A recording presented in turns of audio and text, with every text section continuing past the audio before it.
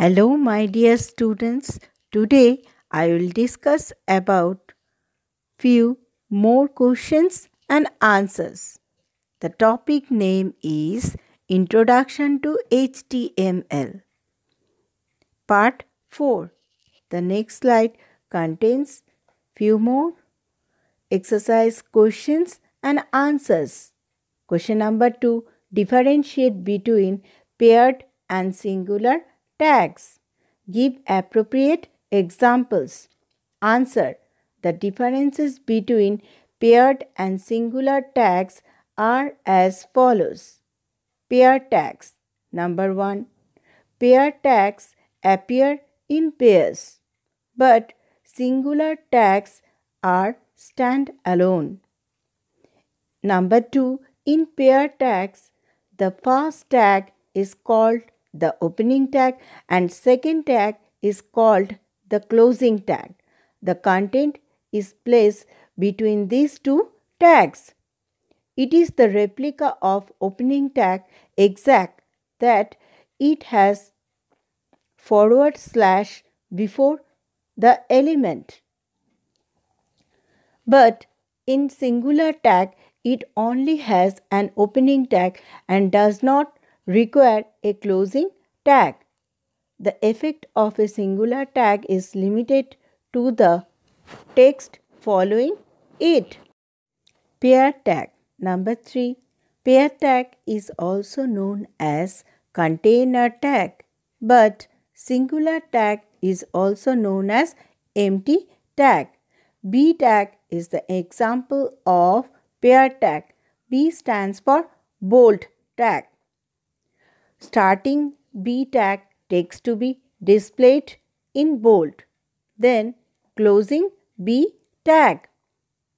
BR tag is the example of singular tag. BR tag is used to insert a line break. The next slide contains the next part of questions and answers. Question number 3. Name some HTML editors. Give an example of a discontinued editor. Answer. The names of some HTML editors are as follows. Notepad, Microsoft Publisher, Adobe, Dreamweaver.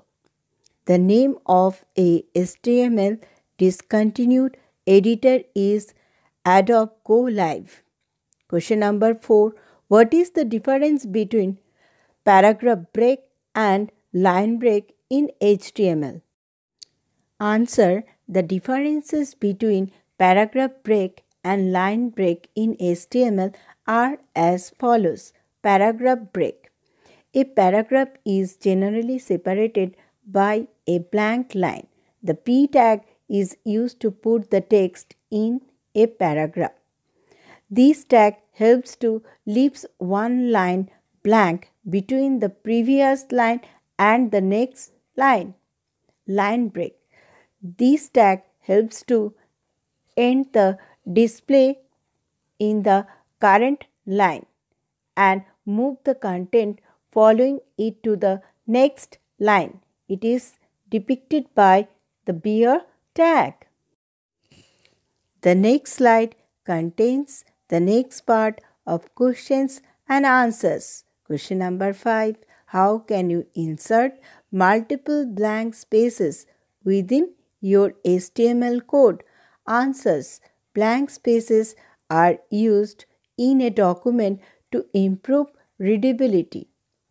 Ampersand NBSP represents a non-breaking space.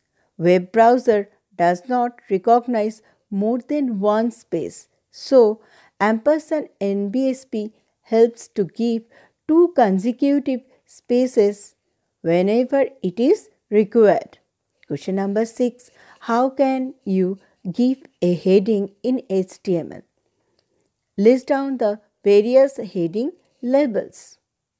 Answer. Sometimes some text like headings and subheadings should be emphasized more than rest of the text. Heading style tag is used to give a heading in HTML. There are six different levels of headings H1 to H6.